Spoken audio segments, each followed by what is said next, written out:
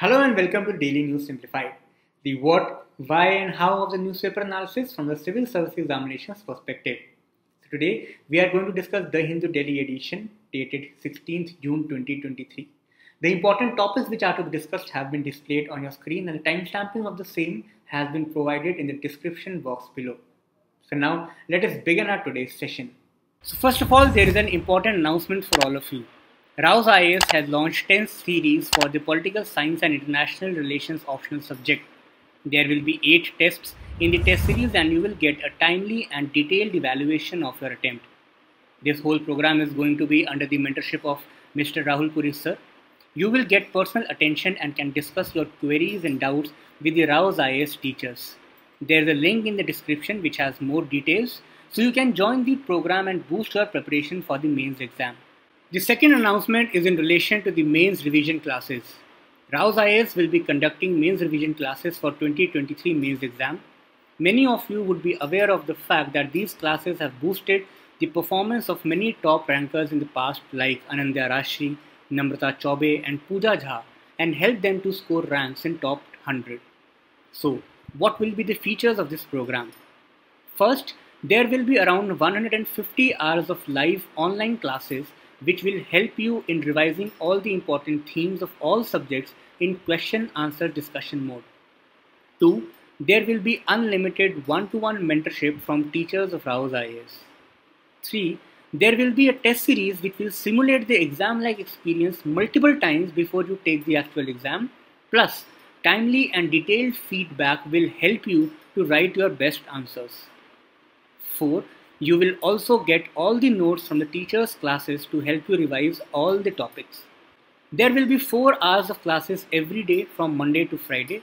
Respected teachers like Mr. Baswa Upin, Faizan Khan, Arun Bhardwaj, I, Gaurav Tripathi, Shashank, Vaibhav Mishra sir, Mr. Ankit Kaul, and Mr. Jatin Bhardwaj are looking forward to help you get top ranks once more in 2023. So enroll for the course and boost your chances to score your best. There is a link in the description and you can know more by clicking on that. This is our first topic.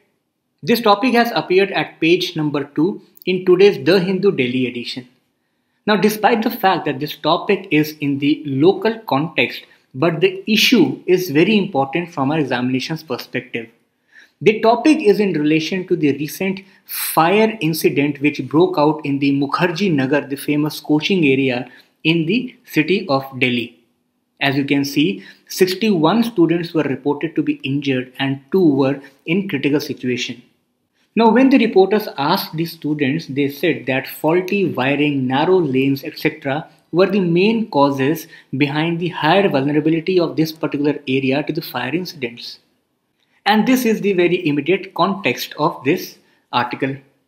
Now, when it comes to the UPSC's scheme of civil service examination, this topic finds its importance in General Studies Mains Paper 3 in the section of disaster management.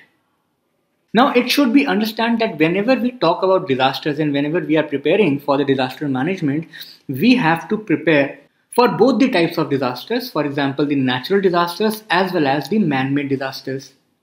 Now, what are the natural disasters? For example, like earthquakes, tsunami, cyclones, etc. Man-made disasters include industrial disasters, fires, stampede, nuclear leakages, etc. So therefore, in today's session, we are going to deal with this particular type of disaster that is the civilian fires. Now, when we talk about the fire as a disaster, there are two important dimensions. One is the civilian fires or the industrial fires and second is the forest fires. Now both of these can be linked together also and they can be different also on certain parameters. However, in today's session we are going to restrict ourselves to the civilian disasters because the news has appeared in this very context only. So with the help of this flowchart we will in today's session learn that what are the various issues involved and what are the way ahead, what can be the policy directives or suggestions which we can write in a mains answer. So first let us understand that what are the various issues which are involved.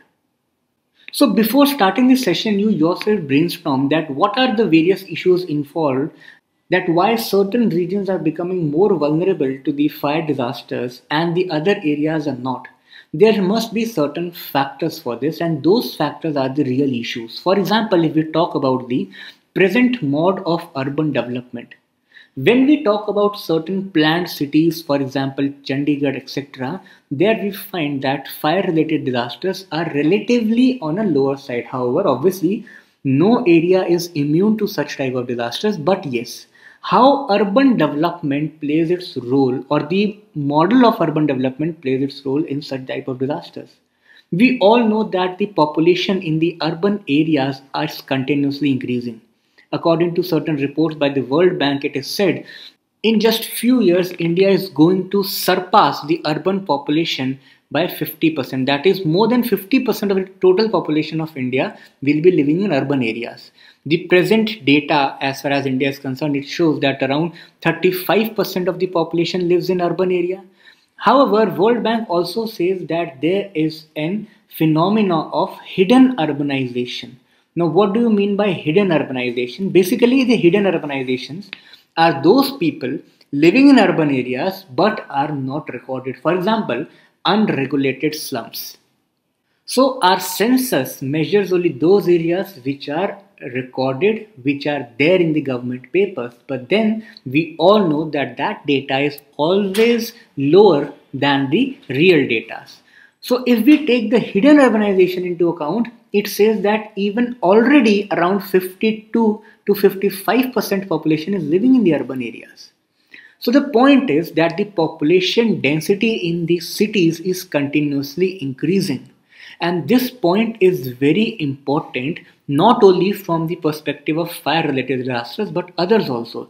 If the population density in any particular area is increasing, that means that the chances of deaths or the chances of losses is also increasing. Second, in most of the large urban areas, there are always certain regions which are unregulated.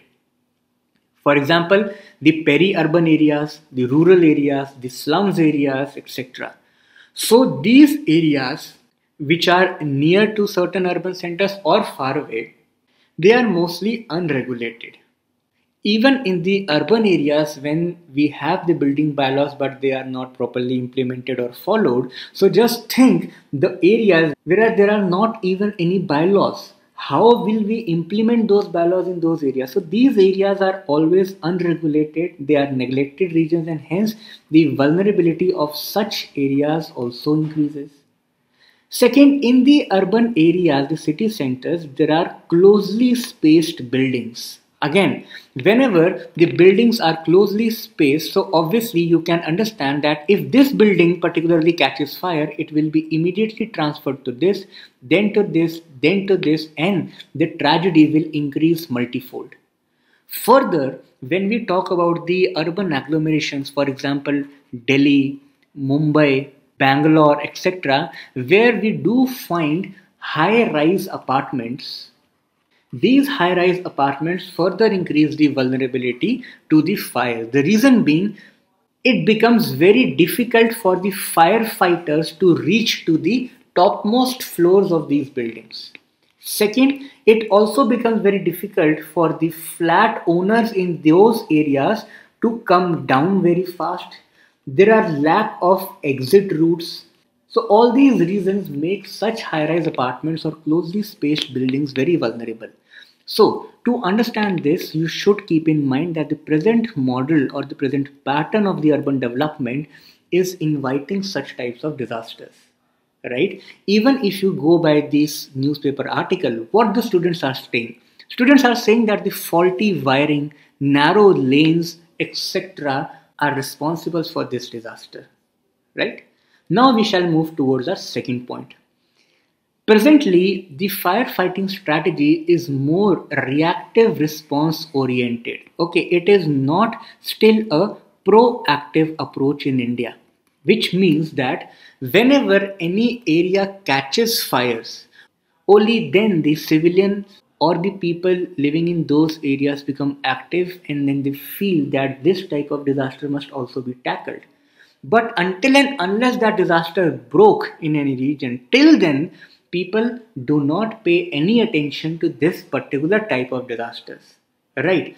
So that is why all the buildings the coaching institutions the it locations it establishments schools colleges hospitals etc they do not focus on these things. You yourself think have you ever heard about fire engineering? No. Do we people focus towards fire audit? No do we think about capacity building? No. Are we adequately aware that how to fight a fire? There must be certain fire extinguishers in your building or the areas where you live or you go or you study. So how many of you are aware how to use these fire extinguishers? So this is the point right we always believe in the reactive response but we tend to forget about the proactive approach these things must be taken care of the third issue is the inadequate capacity to fight with such disasters. Okay, so here we have understood. So here we learned that mostly our response is reactive. But even when it comes to the reactive response, we do not have adequate capacity. We do not have adequate number of fire brigades. We do not have firefighters, the personnel, the staff then we also have absence of the water storage, water tanks near these areas. And we all know that water is the primary tool to help in such types of disasters. Obviously, water cannot be directly spread on the areas without knowing the cause that why fire broke out because it can be due to the electric fuses or shocks etc so in those so in those cases obviously we cannot apply the water. 10 building bylaws yes we do have building bylaws but are we able to enforce it? No. Are we implementing it? No. Then there is a lack of coordination between various agencies between various departments etc so all these reasons point out the fact that despite we believe in reactive response still we do not have adequate capacity to take up that response fourth issue comes with the climate change we all know that there is a general increase in temperature. Further, when we come to the urban areas, the average temperature of these urban areas are relatively 2 to 3 degrees Celsius more compared to the surrounding rural areas. And this phenomena is known as the heat island effect. So, if any particular city or urban areas are having higher temperature, then obviously there are higher chances that it will catch fire. The increase in temperature is also creating the forest fires, is also setting up the agricultural fields on fires in the rural areas. So again, this climate change is also becoming one of the most important issues. And last is certain issues which are related to the modern days. For example, the data centers the data centers utilize a huge amount of energy, which in turn can lead to fire break. Multi-level parkings in cities, metro rails, the transportation networks, as well as the lithium batteries, which today we are using in the electric vehicles, you must have gone through this news that a lot of electric vehicles caught fire in last few months because these batteries are getting heated up and they are catching the fire. So these are certain issues which relate to our modern day lifestyles. But yes, we have discussed all these issues, but the question is that UPSC will ask you that what can be a way ahead. What are your suggestions? You are going to be the administrator, so obviously you should know the solutions to these issues also. So now let us discuss the way ahead. So while giving these suggestions or thinking of the way ahead, you can divide into four compartments. One will be the fire prevention and risk mitigation. Second will be the relief from disaster. Third will be the technology. And fourth will be the institutional reform. So let us look at these closely. So there are certain components when it comes to the fire prevention and risk mitigation. That means the proactive approach, the issue which we discussed in the last slide. So we need to focus on proactive approach. How to do that?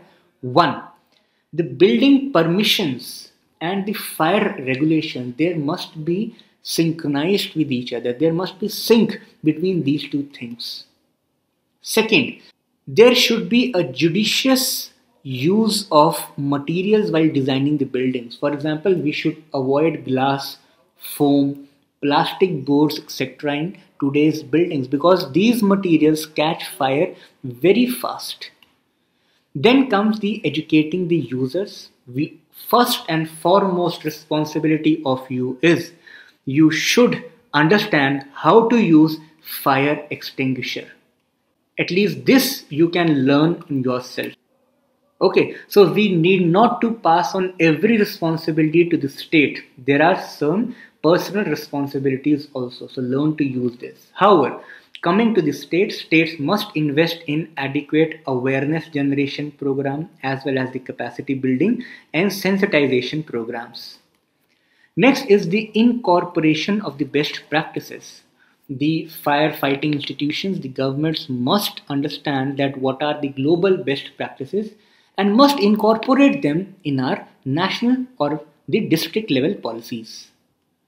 Then there must be a continuous and regular safety audits, fire audits in all the institutions and the policies or the laws must be revised on frequent basis so as to deal with the new and emerging challenges.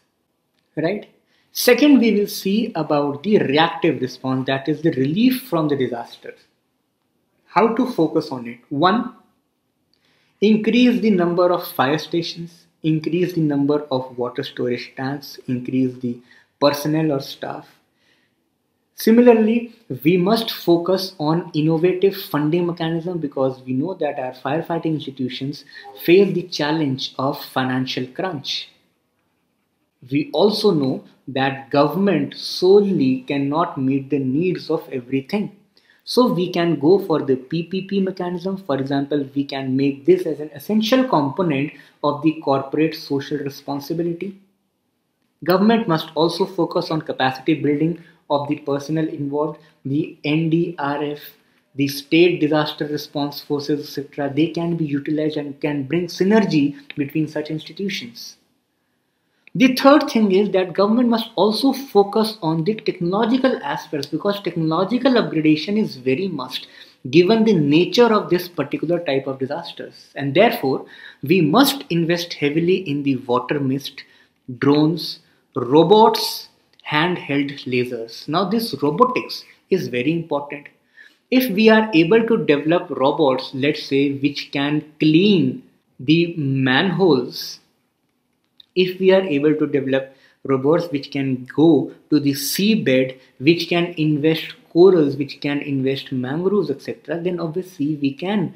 And we must invest in robotics so that even the firefighting can be done by the robots so as to not just tackle the deaths related to the civilians but also to lessen the possibility of deaths or the life losses in the context of the firefighters.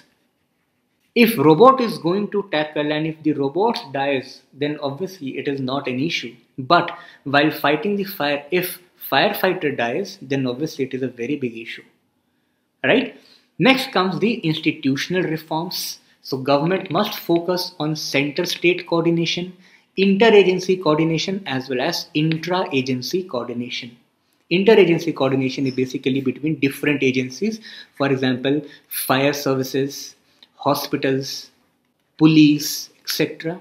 Intra-agency coordination is among the departments of the fire services. So this can be a way ahead which you can suggest in your answers. So this was a pretty lengthy topic. Let us revise this topic in brief once again.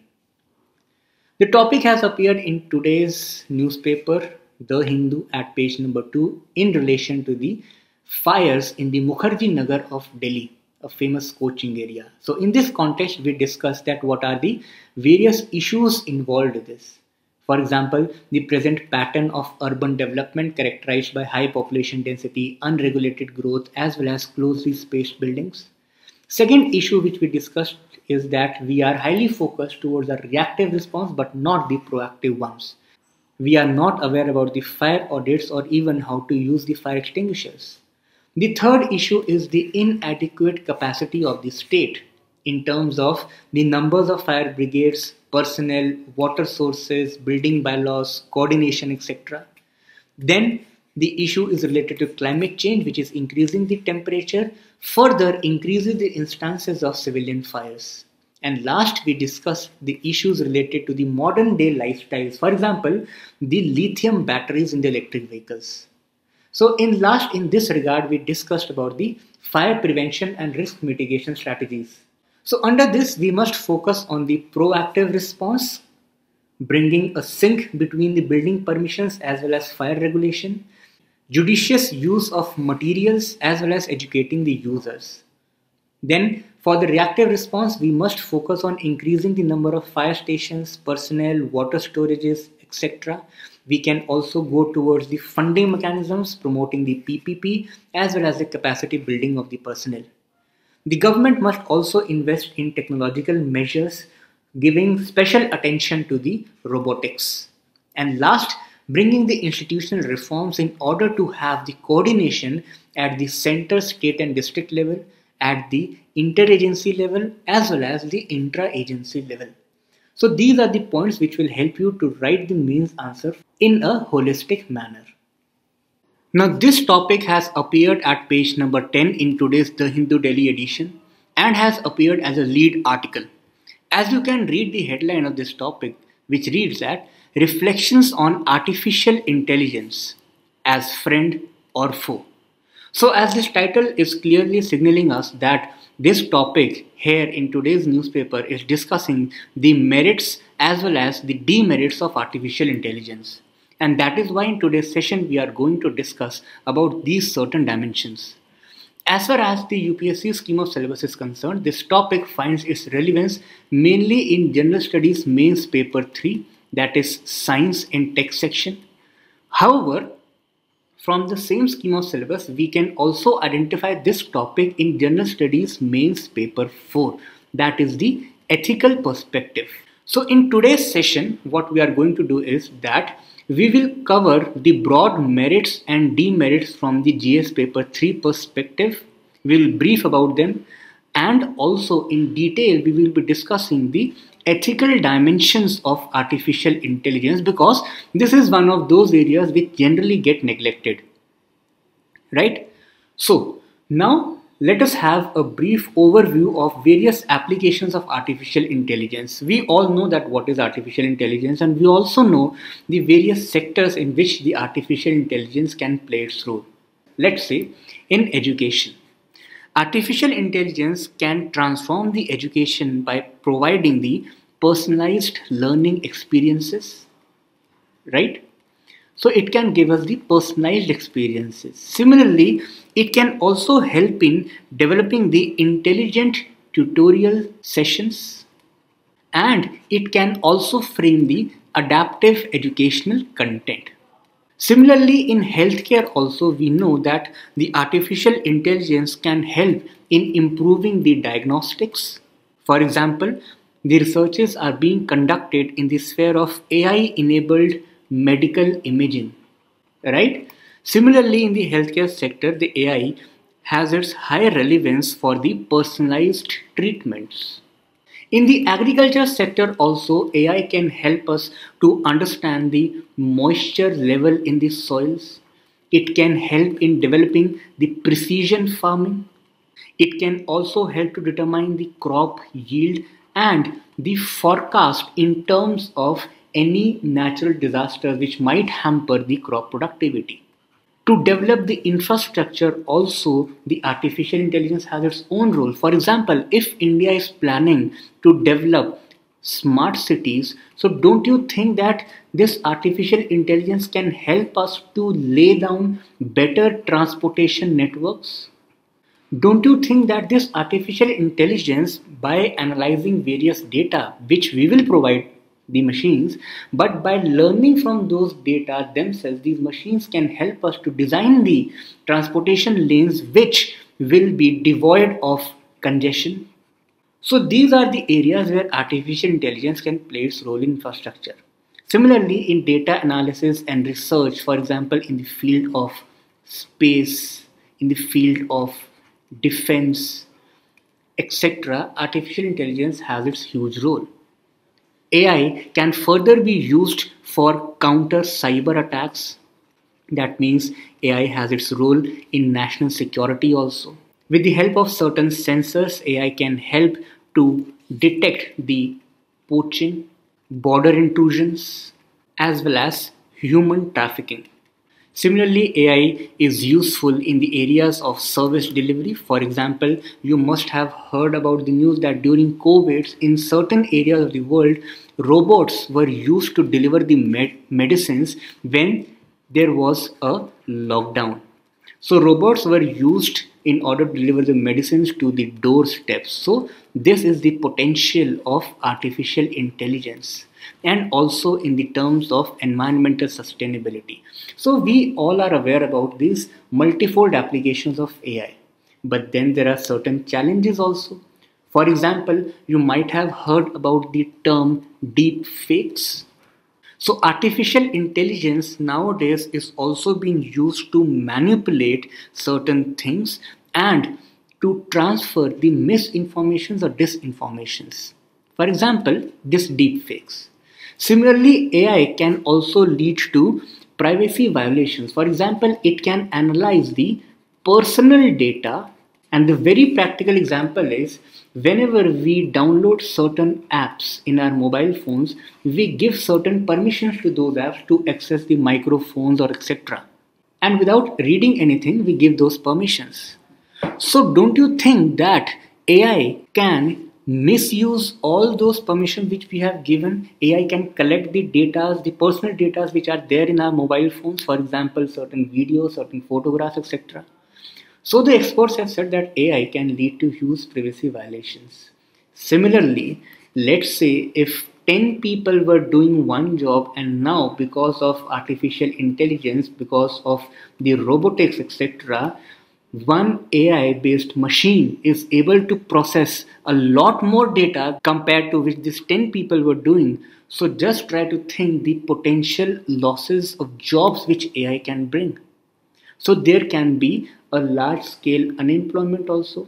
Yes, we do agree with the fact that there will be generation of employment also in other sectors which will be supporting the artificial intelligence. So on employment part, it can be positive as well as negative but here because we are dealing with the challenges so yes there are chances of unemployment because of artificial intelligence the coding which is being done to generate these ai based tools are so complex that even the creators or the developers of those codes or those softwares are unaware about them so it create a lot of problem in terms of transparency as well as accountability Similarly, the automation of weapons pose a huge challenge to the global peace and security.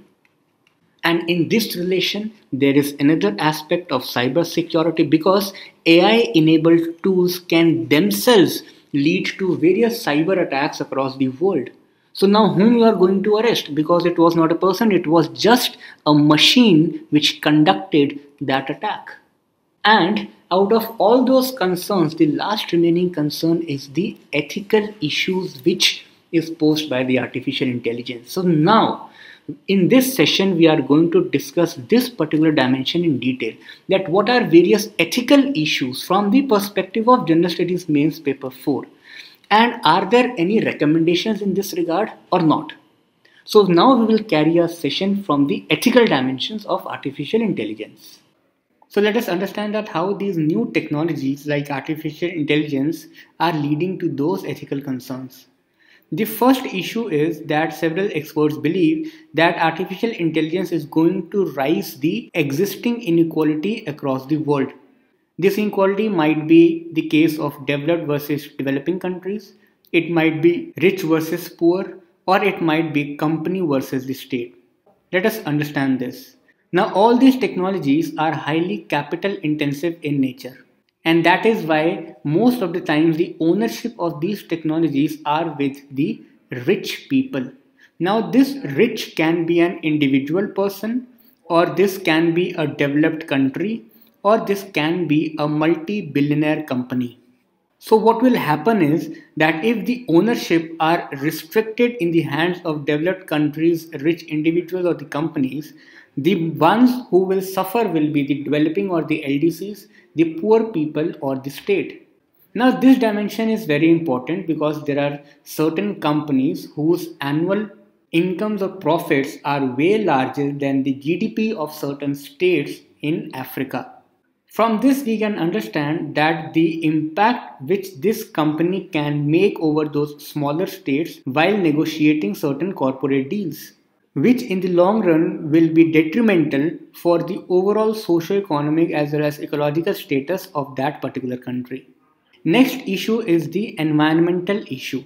Now these technologies are energy intensive. It is believed that the technologies which are used in artificial intelligence consume around 10% of the total global energy which is used in the technological sector.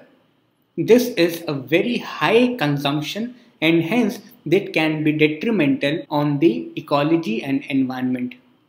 Third issue is related to the gender. Data suggests that just 22% of the total workforce employed in this particular sector is represented by women. So this gender skewed nature of the workforce in this sector reflects the gender biases also. More importantly, have you ever wondered that why are the personal assistant devices always have female tones. For example, Siri, Alexa. So all the personal assistant devices have predominantly female voice. So in a way, this artificial intelligence technology is concretizing the existing gender stereotypes in our society. Further, we all know that with coming of these modern technologies, which can do a work of hundreds of individuals in few seconds, there are high chances that the unemployment rate will drastically increase. And the last issue is obviously related to the privacy concerns. Today, when we use Google, YouTube, etc., there is a mad race going on across the world to collect the consumer's data. And we, while using all these applications, unknowingly or knowingly, are giving our data to these multinational companies and then we do not have any control on our own data once we have given that data away. So there are high privacy concerns associated with the artificial intelligence technology also. In this very regard, there are important recommendations given by UNESCO. The first important recommendation is in relation to protecting the data. The UNESCO's recommendations 2021 says that individuals must be the owners of their own data and they shall be given accessibility to either preserve or even erase the records of their personal data. They must be given the right to erase their records also. Further, it recommends to increase the ability of the regulatory bodies around the world to enforce this particular right. The second recommendation is in the regard that UNESCO says that the member states should consider that ultimate responsibility and accountability must always lie with the humans. That means that the technology must not replace the humans and these artificial intelligence technologies should not be given legal personality themselves. For example, tomorrow if you ask certain information under your Right to Information Act, then the government cannot say that this was done by some robot and that is why we are not accountable for that. No, legal personality must not be given to these technologies and the ultimate accountability must lie with the humans. The third important recommendation is in regard to monitor and evaluate the performance. For this, the UNESCO says that ethical impact assessment has to be developed which will compare the countries and their steps which are taken in order to analyze all the ethical impacts of artificial intelligence technologies. Further, the member states should also consider adding the role of an independent artificial intelligence ethics officer. So this person will be overall authority dealing with such scenarios. The terminologies can be different in different countries. However, the basic idea is that for this specific issue, there must be some dedicated authority to regulate it. And last recommendation is in regard to protecting the environment. The recommendations incentivizes the government to invest in green technologies and to use artificial intelligence technologies in only those scenarios whereby we have concrete data that this technology does not have disproportionate negative impact on the environment. So these are the major UNESCO's recommendations for having ethical use of artificial intelligence technologies in the modern world. And you can utilize these recommendations in your answers, ethics paper as well as essay paper. Now this image has appeared at page number 11. The title of this image is Pokkali, the Rise of the Future. Now there is not much text written about this image in today's newspaper. But whenever you are reading newspapers, always do have a very close look on such images because this image, if it has mentioned the name of this important rice and with the title that it is a rice of the future, then obviously it becomes very important to understand that which breed of rice it is and why is it called as the rice of the future. Are there any certain important key facts related to this particular variety of rice? Is there any specific region in which this is grown? So all these key facts important for our prelims examination, more importantly when it comes to the section of biodiversity or the agriculture. So that is why in this context we will discuss certain key facts related to the Pokkali variety of rice. First of all, before starting it, let us see the map of Kerala because this has this because this variety of rice is grown in certain areas only. It is not widespread across all india. It is just grown in three districts of kerala. This is the map of kerala. And if you see here we have a district known as alappuzha. Here we have ernakulam and this is thrissur all these three are the coastal districts on their western side we have the arabian sea so in this coastal area, this rice is grown. Again, Thrissur, Ernakulam and Alappuzha. Now, here we also have one important region that is Kuttanad area. Now, Kuttanad area spreads across certain districts like Alappuzha, certain sections of Alappuzha, certain sections of Kottayam and certain sections of Pathanamthitta. So we can say that Kuttanad area in Alappuzha is common. Okay, so Kuttanad is there in Alappuzha and this Pokkali rice is Thrissur, Ernakulam and Alappuzha, right? Now we shall look at certain key facts. First of all, we should understand that traditionally the coastal wetlands in many parts of India have been used for sequential paddy fish cultivation. Okay, so the sequential paddy fish cultivation that is in one season the farmers are growing paddy. And sequentially in the second season they are having fish farming that is aquaculture. So this sequential manner of this thing is practiced in many parts of india and in different states. It is known by different names. In kerala it is pokkali However, in recent times, it has been witnessed that Pokkali cultivation is on decline. Why it is on decline, we will look at those reasons also. First, let us understand that what is basically a Pokkali rice. It is a variety of rice which is salt tolerant. Obviously, if the variety is growing in the coastal wetlands which is exposed to the saline sea waters, then obviously that variety has to be salt tolerant Second, it is an indigenous variety which is grown in three districts, Salapua, Thrissur and Ernakulam. This is a lesser known variety. We only know about the basmati rice. This is very less known variety developed in the low-lying coastal areas but it employs one of the oldest organic farming techniques. Now again this is important. It is organic in nature. Pokkali is basically a system in which farming alternates between rice and prawn. So these fields are used alternatively for rice farming and prawn or shrimp cultivation. It does not use any fertilizers, whether chemical or organic, because it is grown in waterlogged areas. And even if some fertilizers are applied to it, it will be washed away by the sea waves. So it does not have fertilizers, it is purely organic, grown in waterlogged areas, and this is famous for its medicinal qualities. It has its peculiar taste and has a very high protein and fiber content important very important This has also been conferred a geographical indication tag in 2008. But we discussed that the decline in Pokkali cultivation has certain reasons, and those reasons are shortage of skilled labor because now people are migrating from those areas in search of other employment options. So there we have a shortage of skilled labor.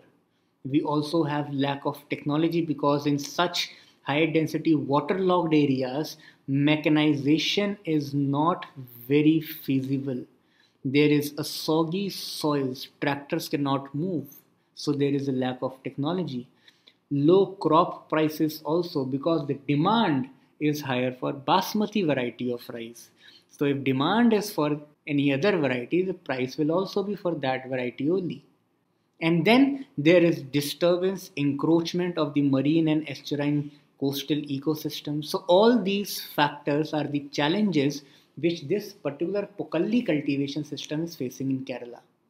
So initially we discussed that uh, such type of sequential farming practices occur in other areas also. For example, in West Bengal, this agriculture fishery integration is known as bheris. Similarly, in Karnataka, it is known as Gajni. In Goa and Maharashtra, it is known as Khazan, and in Kerala, it is Pokkali. Right? So, such type of factual information are important because in prelims examination, the question can be asked in the form of matching the columns. So, again, I am repeating it. In West Bengal, Bheris. In Karnataka, Gajni. In Goa and Maharashtra, Khazan. And in Kerala, Pokkali. Now, initially, we also talked about a Kuttanad area, which so this area is basically covering Alappuzha, Kottayam, and Pathanamthitta districts. You can see in this map. This is Alappuzha, this is Kottayam, and this is Pathanamthitta. Now, why this area is important? This area is important because because here we have below the sea level farming system developed, and this is recognized by the Food and Agriculture Organization FAO as globally important agricultural heritage system.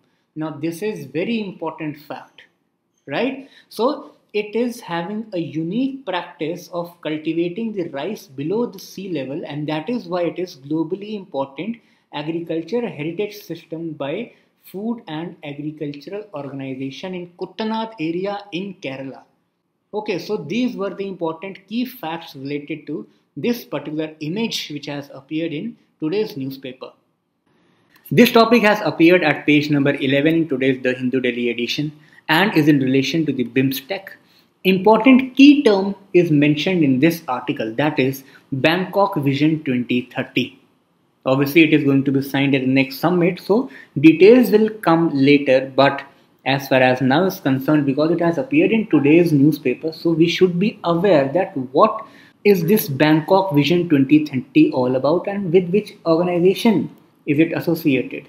So this is the very context of this article that BIMSTEC, which stands for Bay of Bengal Initiative for Multi-Sectoral Technical and Economic Cooperation, at the end of this year will adopt the Bangkok Vision 2030.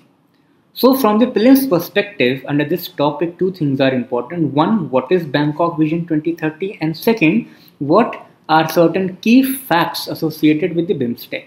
So that is why it is going to be a very short discussion. Let us understand these things. BIMSTEC Bangkok Vision 2030 basically aims to build prosperous, resilient and open PRO that is Pro BIMSTEC by 2030. So this is an acronym, remember it.